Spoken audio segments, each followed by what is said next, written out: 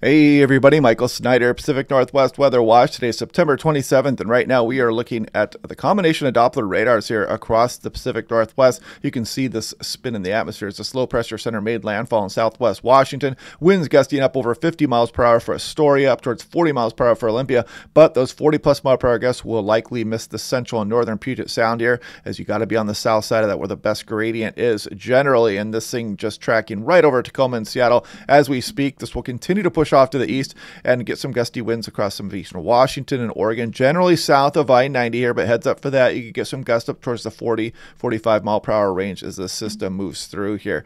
Now, taking a look at what happened yesterday, you can see that strong thunderstorm that moved towards downtown Seattle yesterday. Nice shelf cloud action on that. Had some lightning strikes, had numerous heavy downpours across the area as well. Very fun, active weather day. And this is looking at the mid level water vapor loop, and you can kind of see that low pressure center tracking right over the southern Puget Sound as we speak. This brought some lightning to the coastal area, and you can see a lightning strike there towards the I 5 corridor as well. Had a lot of lightning strike out over the ocean here. Nice warm ocean waters out there, probably contributing to that instability as this mid latitude cyclone moving onshore. Now, taking a look at the infrared satellite, you can kind of see that colder air back here. The cold air cumulus going to continue on for the next couple days, but the heavy rainfall should end with this system here, at least for a while. We're going to get some convergence zone activity, so you could get some localized heavy amounts, but the widespread heavy rain that we've been getting the last few days is going to be winding down as we go through the day today.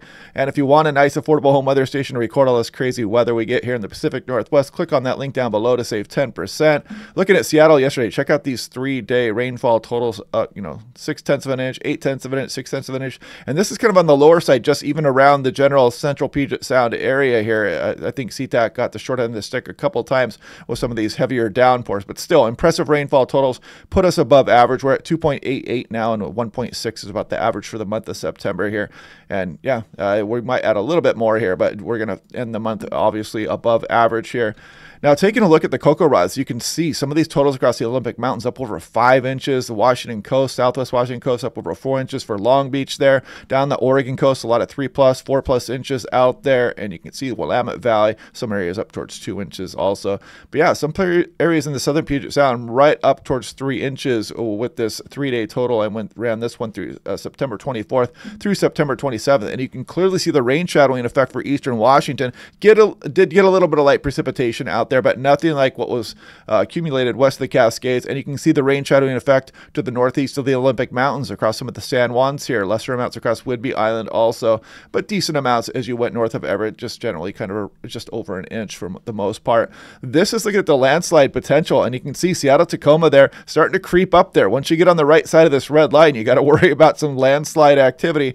We're not quite there yet, but you know we did get a pretty good three-day total here. And again, some areas in the central central Puget Sound, we're up closer to three inches. So uh, it's getting close to that, but it's generally something we don't really have to worry about until we get later on into the season. This is strong winds this morning.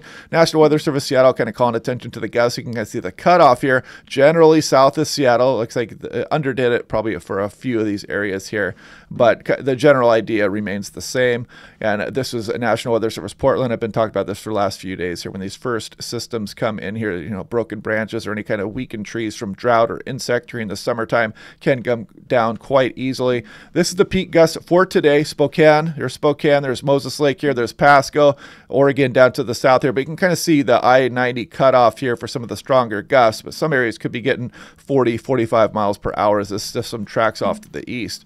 Now, this is looking at the European last night, so we put this into motion. You can see once it got closer, some of the models kind of came into agreement where the low was going to make landfall, but you can see those gusty winds across southwest Washington, northwest Oregon. Didn't do too bad here this last run, but you can see the gust generally not into the central Puget Sound or northern Puget Sound here, and you can kind of see that wind as it tracks off to the east or across some eastern Washington as well. But again, uh, like I've been talking about, the strongest winds usually stay offshore here with these systems. It was filling a bit here as it was making landfall, but again, Astoria gusted over 50 miles per hour, probably low 50s. And this is the HRRR 3 cam. Not a bad job here as well, kind of showing where the strongest winds made landfall right at the mouth of the Columbia there, and not quite making it into the Seattle area here, but nailed that really pretty close to that 40 mile per hour gust there for Olympia. Now, looking at Astoria here, uh, this is kind of raw data, and you can see peak wind at 45 knots, which is what, about 52, 53 miles per hour there, pressure rising rapidly. So, yeah, interesting stuff. You probably definitely heard the wind howling if you were on some of the southwest Washington coast or along the Oregon coast last night and this morning. And this is the European. Did a pretty good job here on its latest ensemble runs here uh, as far as wind speeds are concerned. Tillamook gusty down there as well. They don't record peak wind speed there at the ASOS for Tillamook, but it was probably gusting up over 45 miles per hour also. This is the NAM3 KM 80 meter wind speed, so you can see where that low pressure center made um, landfall there. And you can kind of see the cutoff there with the strongest winds being to the south, then moving off through eastern Washington. And this is looking at the UW model. You know, a few days ago, this thing had it going into northwest Oregon. It did correct somewhat. So as we got closer, you know, obviously the models do a better job here. But yeah, some of this, uh, the model runs had this moving into Northwest Oregon here, ended up uh, coming to the solution there right across Southwest Washington. This is looking at surface-based Cape, so we have the chance of a couple thunderstorms here, especially as we go on in through tomorrow. But you know, it's, it's of general cold air aloft. We're not looking at super heavy precipitation we've been getting here, but you can see us destabilize as we go through tomorrow afternoon here across Western Washington. So we'll keep that in the back of our mind and go over that again tomorrow morning. Here's looking at the radar, and this is pretty similar to what's going on right now. You can see the spin in the atmosphere, the low pressure tracking across western Washington. And then we get some convergent zone activity as we go through the afternoon and tonight and kind of see that hanging on here. So we still could get some locally heavy amounts there across northern King, southern Snohomish County. And then we continue the showery activity as we go on in through Thursday. And then we drop a trough down over the Intermountain West. We'll take a look at that here in a moment.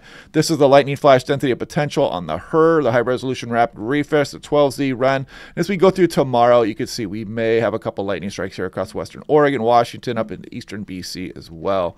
Nothing too crazy though compared to the last few days.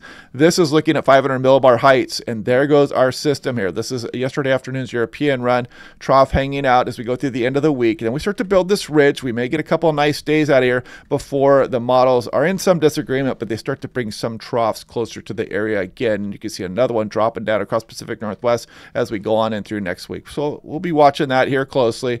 GFS we'll look at next. And this is the GFS. There goes our secondary system. This is last night 06Z run, which is about 11 p.m. when that one starts to run. And you can see this trough kind of hanging out here. And this one is going to impact some of California and some of the Intermountain West ridge builds. Let's see what happens in that. Looking off into the extended fantasy land here. Nice trough swings through British Columbia and drops right down across Pacific Northwest. We'll see how that goes. You can see the European was further uh, east and weaker with that system here. It's a big ridge showing up on some of the model runs out over the Gulf of Alaska and western Alaska. So something to watch. This is total precipitation in inches, just trying to give you guys the idea that once this system moves through, we're going to start to relax those precipitation amounts here across the area, except for maybe that convergent zone as we go on in through tonight and tomorrow, some shower activity across the area.